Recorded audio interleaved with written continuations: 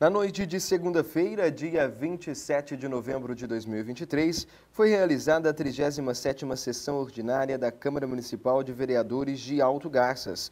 Na ocasião, os parlamentares realizaram apresentações de proposições.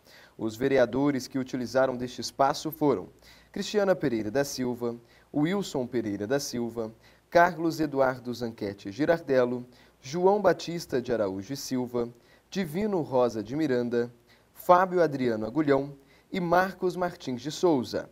As sessões acontecem todas as segundas-feiras, a partir das 19 horas. Participe e acompanhe o trabalho do seu vereador.